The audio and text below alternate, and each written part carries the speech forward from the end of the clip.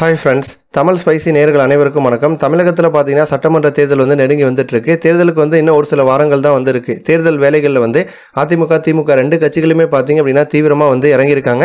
அதேமாதிரி தங்களுடைய கூட்டணி வந்து வலுப்படுத்தணும் அப்படிங்கிற முயற்சியிலையும் ரெண்டு கட்சியுமே வந்து தீவிரம் காட்டி வந்துட்டுருக்காங்க.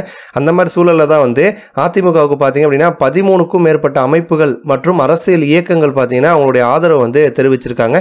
நடிகர் நவரச நாயகன் கார்த்திக் அவர்களுடைய மனித உரிமை காக்கும் கட்சி ஏசி சண்முகம் அவர்களுடைய புதிய நீதி கட்சி டாக்டர் சேதுராமன் அவர்களின் அகில இந்திய மூவேந்தர் முன்னணி கழகம் ஜோதி முத்துராமலிங்க தேவர் அவர்களின் பசும்பொன் தேசிய கழகம் முருகன்ஜி அவர்களின் பாரதிய ஃபார்வர்ட் பிளாக் கட்சி திரு வேட்டவலம் மணிகண்டம் அவர்களின் இந்திய உழவர் உழைப்பாளர் கட்சி ஷேக் தாவூர் அவர்களுடைய தமிழ் மாநில முஸ்லீம் லீக் அம்பேத்கர் பிரியன் அவர்கள் நிறுவன தலைவராக இருக்கக்கூடிய இந்திய தேசிய குடியரசுக் கட்சி இடிமுரசு இஸ்மாயில் மாநில பொதுச் செயலாளர் இருக்கக்கூடிய முஸ்லீம் உரிமை பாதுகாப்பு கழகம் எம் எஸ் தமிழ் அவர்களுடைய பொதுச் செயலாளராக இருக்கக்கூடிய தமிழ் ஜனநாயகம் முஸ்லீம் மக்கள் கட்சி எஸ் எஸ் ஆர் சரவணவேல் அவர்கள் தலைமை ஒருங்கிணைப்பாளராக இருக்கக்கூடிய செங்குந்தர் அரசியல் அதிகாரம் அர்ஜுன் சம்பத்தினுடைய இந்து மக்கள் கட்சி உள்ளிட்ட பதிமூணுக்கும் மேற்பட்ட அமைப்புகள் பார்த்தீங்கன்னா அதிமுகவுக்கு வந்து ஆதரவு தெரிவிச்சிருக்காங்க.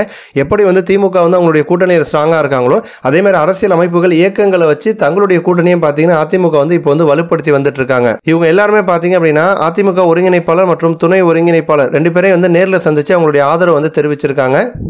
அதிமுக தலைமை அலுவலகத்தில் வந்து பெருந்தலைவர் மக்கள் கட்சியின் தலைவரான என்ஆர் தனபாலன் வந்து செய்தியாளர்களை சந்திச்சாரு. அப்போ அவர் வந்து அதிமுக கூட்டணியில் வந்து அஞ்சு தொகுதி வந்து கேட்டிருக்கோம். மூணு தொகுதி ஒதுக்குவாங்க அப்படின்னு நாங்கள் வந்து எதிர்பார்க்கிறோம்னு வந்து சொல்லியிருக்காரு. அதே மாதிரி வந்து புதிய நீதி கட்சியினுடைய தலைவரான சண்முகம் என்ன சொல்லியிருக்காருன்னா அதிமுக கூட்டணியில் வந்து நாலு தொகுதிகள் வந்து ஒதுக்கணும் அப்படிங்கிற மாதிரி நாங்கள் வந்து கோரிக்கை வச்சிருக்கோம். வேலூர் நாடாளுமன்ற தேர்தல் வந்து குடியாத்தம் கேவி குப்பம் அணைக்கட்டு போன்ற தொகுதிகள் வந்து திமுகவை விட அதிக வாக்குகள் வந்து நாங்கள் வந்து வாங்கியிருக்கோம். சட்டமன்ற தேர்தலையும் வந்து அதிமுக கூட்டணியில் இரட்டை இலை சின்னத்தில் வந்து நாங்கள் வந்து போட்டிடுவோம் அப்படின்னு அவரும் வந்து தெரிவிச்சிருக்காரு. இது போன்ற இன்னும் பல அரசியல் சம்பந்தமான முக்கிய செய்திகளை வந்து நீங்கள் தெரிஞ்சுக்கணும் அப்படின்னா நம்மளுடைய சேனலை வந்து சப்ஸ்கிரைப் பண்ணுங்கள்